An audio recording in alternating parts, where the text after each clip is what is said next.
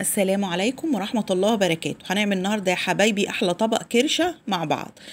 أنا هعمله من الألف إلى الياء. يعني هنشوف طريقة أول حاجة تنظيفه وبعد كده ال- المحلول اللي بحطه فيه علشان ما يبقاش ليها أي ريحة وطريقة تنظيفها الحلوة آه، وبعد كده هنعملها بقى الكرشة نطبخها.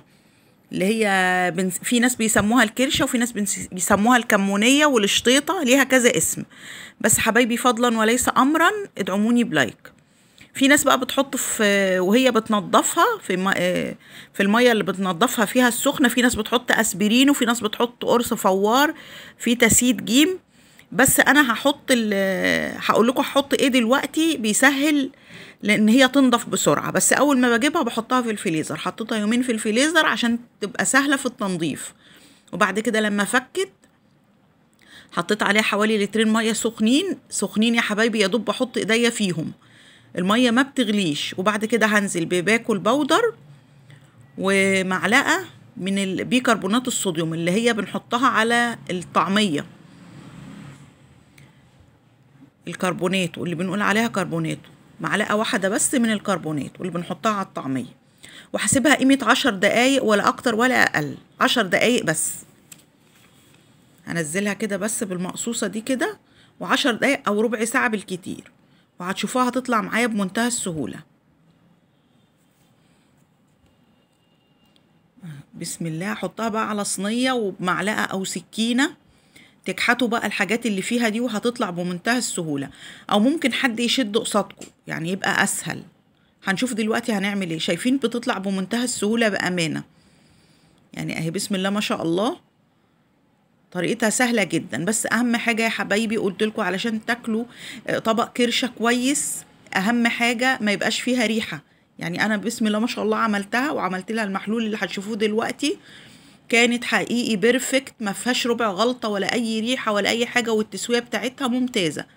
بس حبايبي سواء كانت كبيرة آه، في السن الكرشة أو صغيرة بتحتاج نار. لازم يا حبايبي تسلقوها سلقة كويسة شايفين؟ السكينة أسرع من المعلقة. هنضف ده كله كده كويس؟ وهنبدأ بقى نغسلها كذا مرة. هشيل السواد اللي فيها ده ممكن حد لو أسهل يشد قصادي زي ما أنتم شايفين كده حضراتكم أسهل من من إن أنا أعملها لوحدي. غسلتها كذا فم وقطعتها زي ما أنتم شايفين كده شايفين؟ بفطه فضة- بيضة ما فيهاش أي حاجة فلة. هعمل لها محلول بقى إيه؟ هقول لكم عليه حبهان مطحون وقرنفل مطحون شايفين؟ حبهان مطحون وقرنفل مطحون وهحط عليها ليمونتين هعصر عليها ليمونتين وشوية ملح خشن. وهقلبها وأفركها كويس في بعض وأحسبها قيمة ساعة. شوفوا يا حبايبي المحلول ده استحالة يبقى ليها أي ريحة. حاجة كده هتطلع فله معاكي وطعمها تحفة.